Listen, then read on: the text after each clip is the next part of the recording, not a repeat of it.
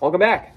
All right, we are now on to our sixth review of Herb n' Eden. This one's going to be citrus and hemp. So let's see how this one smells. Ingredients, we have Moroccan red clay, Moroccan red clay, essential oil blend of lemongrass, cedarwood, orange, patchouli, rosemary, and hemp-infused olive oil. This one has the most ingredients out of any of them so far. And it looks pretty cool. And it smells... Hmm.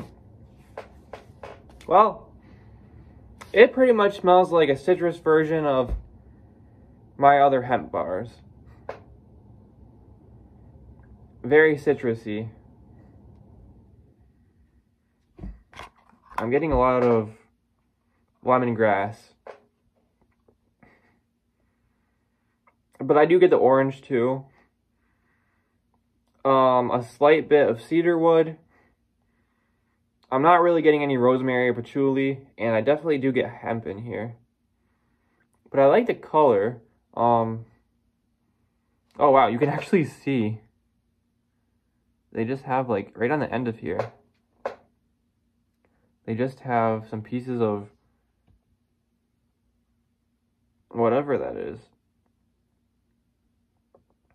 I don't know if it's rosemary or hemp because they're both like oils. So I'm not sure. But uh, regardless, it's not bad, but it's not my favorite combination in the world. Um, so that's, yeah, that's the citrus hemp bar and we will see you in the next video.